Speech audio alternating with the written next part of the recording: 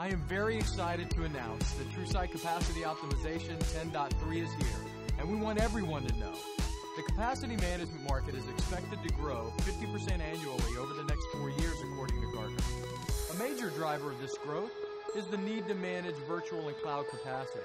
That is where TrueSight Capacity Optimization 10.3 comes in. TrueSight Capacity Optimization addresses these needs with new capabilities for cloud capacity management extensive capabilities for virtual environments. In this new release, there is extensive support for OpenStack, which is used by many organizations for private clouds.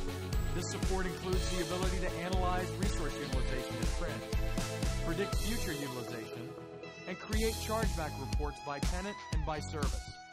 Additionally, support for Amazon Web Services has been added, giving organizations the ability to determine if they are over or under provision. Cloud services can be reserved using the reservations capabilities in TrueSight Capacity Optimization, so services are available day one.